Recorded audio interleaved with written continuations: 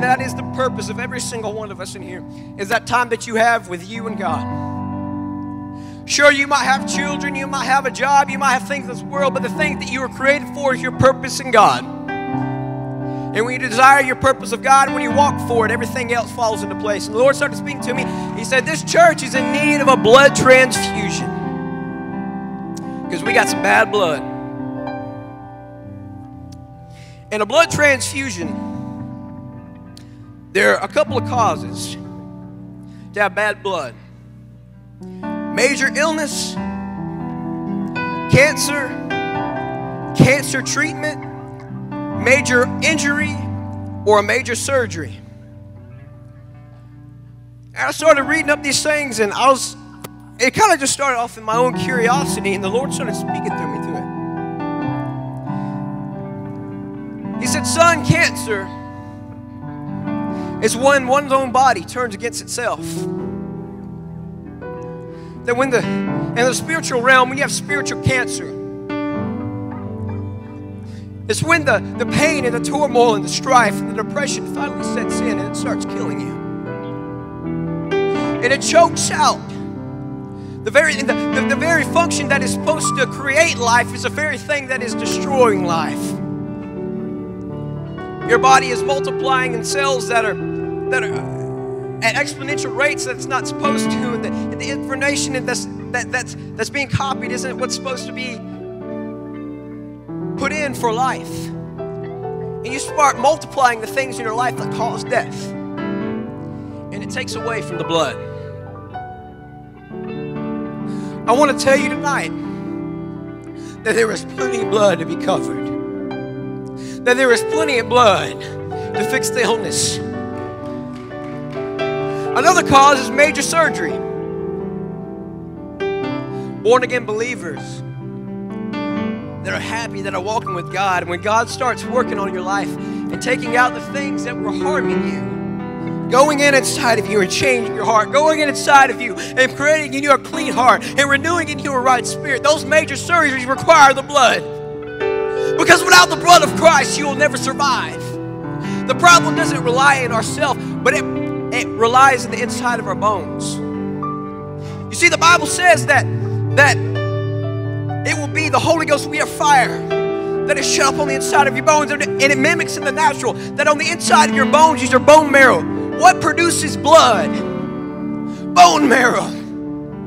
So when you let God come up in your bones and shut up inside you as a roaring flame, you're letting Him bring life into your bones. You're letting Him bring life into your body. I want to call, I want to tell you about something called a total transfusion. There's a procedure when you're when you're so sin sick and when you're so maimed, when you're so dirty, when you're so broken that you have to have all of you bled out. And fresh, clean blood has to be bled in. It takes a long time. It takes a long process. But at the end, you have none of your own. And the blood that has been transfused is now your own. The identity that was dead and the identity that left is no longer your own. You've taken on the identity of Christ, and He is shut up inside of your bones.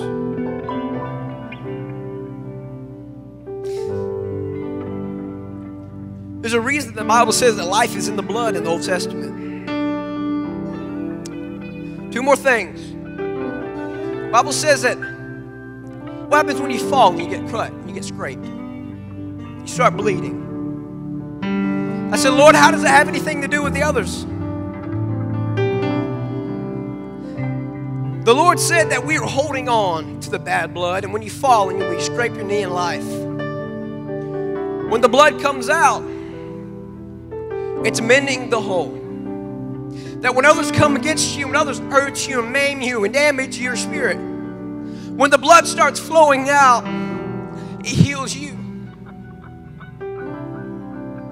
So instead of despising the injuries and despising the wounds, let some of that blood, let some of that blood bleed out on somebody.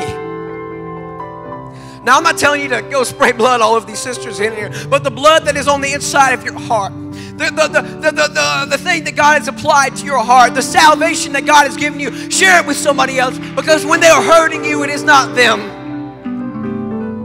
It's their longing and their emptiness and their brokenness, and they're searching for something and they're hungry for something and they need something. And you're the only one that has the answer because you've had the blood transfusion. You've died to yourself and put on Christ. God uses your injuries to cover the others beside you.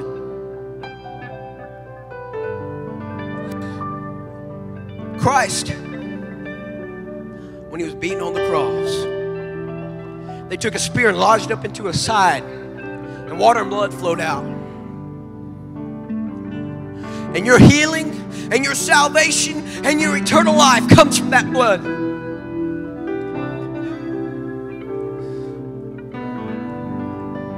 So when you have bad blood, it's not the blood of Christ. When you have unforgiveness, it's not the blood of Christ. Because I want to tell you that the blood of Christ says that charity covers a multitude of sins. And the love of Christ calls us to be meek, wise, and harmless as a dove. Don't despise the blood. Don't despise the process. And let the Lord use you.